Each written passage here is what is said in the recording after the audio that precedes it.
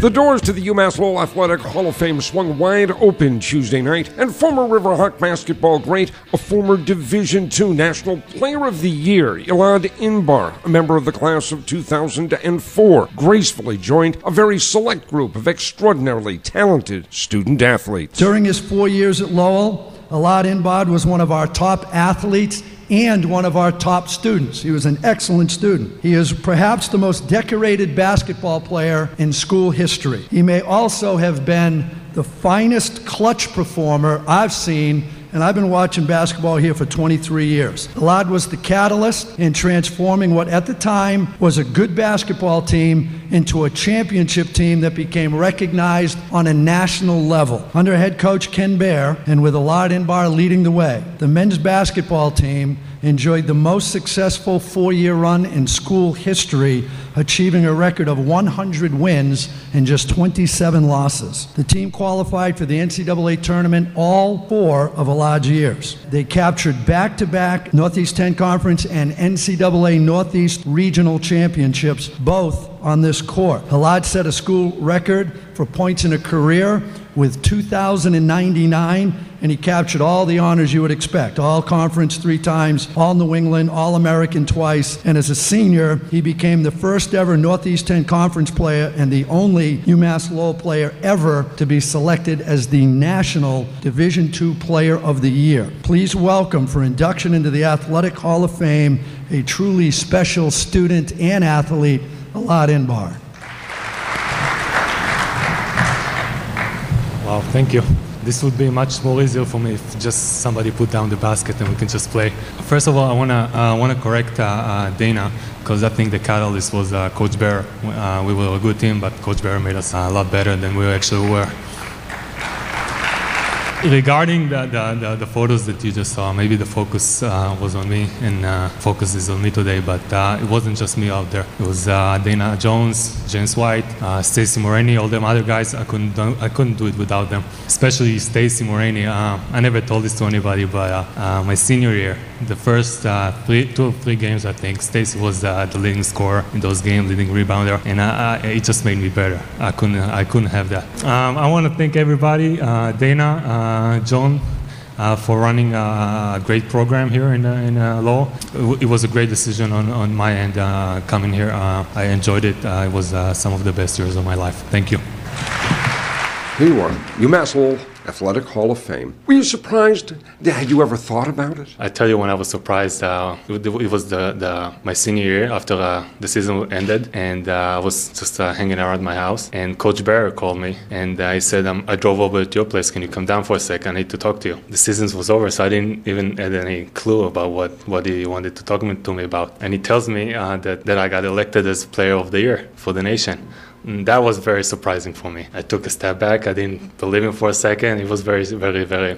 I was very excited, and that was surprising. And so the Hall of Fame, I, I kind of expected it. I, I appreciate it very much, and I really wanted it. talk about that for being the Division Two National Player of the Year. When you're playing, and, and, I watched you, and you made things look easy. Is there a moment where it all sinks in that you say, I, I am good at this. I'm very good at what I do. I used to tell the guys when I played, you know, kind of trash talk to the guys, to my guys. I never trash talk to the opponents. When we played in practice, I kind of, you know, trash talk to them. You can stop me. I'm, I'm shooting over you, and I, it was it's fun. I, I, I, didn't realize I was. Uh, uh, I, I guess I realized I was uh, good enough. I didn't realize I was uh, very good, but uh, I made it look easy because uh, I had good teammates, and they helped me make it look easy. Did basketball always come easy, or is what we saw here at the university the end result of years and years and years of hard work? Work and play and practice and pushing yourself? It's all about, I guess, uh, practice. Ever since I was a kid, you know, playing with my father. What was easy for me here, that wasn't so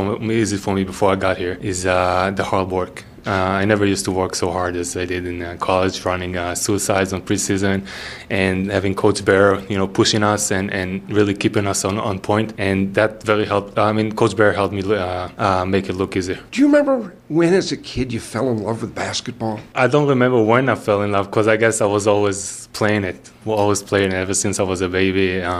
My father, you know, just gave me a ball, and I always played basketball since I was a kid, and so I, I always loved it. I, I, don't remember falling in love with the game. Lowell, Massachusetts is an awful long way from home. How did you end up playing college basketball, going to college at uh, UMass Lowell? You know, you always see, uh, you know, college uh, basketball games on TV, on ESPN, the Sports Channel, and it always looked for me um, very attractive, attractive, and I just wanted to be here. You know, uh, mixing up uh, school and and, uh, and basketball and just living the American uh, American way of life. And so you know, it was always uh, uh, the route for me that I wanted to take. So uh, I know it's a long way from home, but uh, I had some great great friends here, and everything was uh, easy after that. And we talk about things: Player of the Year, the Northeast Ten Championships, going to the Elite Eight on a couple of occasions, and, and that's the way we as observers kind of remember certain headlines. But are the particular memories that you have that they may very well be Player of the Year or going to the Elite Eight, but are the particular memories that stand out most for you about the time uh,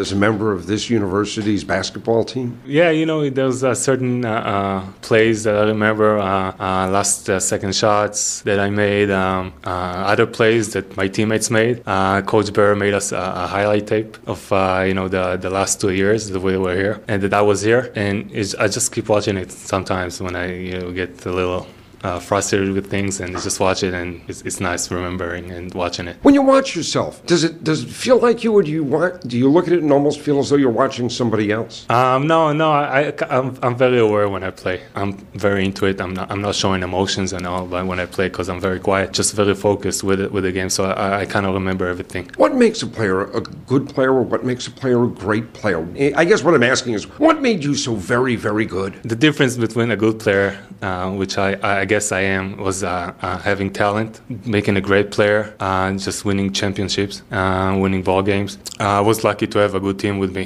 to help me make be a better player. So we, we won the, the tournaments, the, the conference, and, and you know the going to the elite eight. That's what made me a great player. I guess my teammates and my you know coaching staff, just the team. That's what make a good player. I remember times running into you around the campus and always seeing you with one of your teammates. Have you been able to keep in touch with those that you played college basketball with, or does time make it and distance make it all that much more difficult? Uh, you know, now nowadays with the, the, internet and you know mail, Facebook, it's very easy to keep in touch. Uh, I try to keep in touch with uh, some of the guys, the uh, Israeli guys that I play with, uh, so it's easy for me when everybody's back home in Israel. I keep in touch with those guys, and uh, actually, you know, a couple of guys that played here, uh, Stacy and James, and uh, nowadays Ty, uh, they they were in Israel playing professional basketball. So it, it was very nice, you know, hanging out uh, with those guys in my place. I know you played professional basketball for a few years now, playing uh, semi-professional.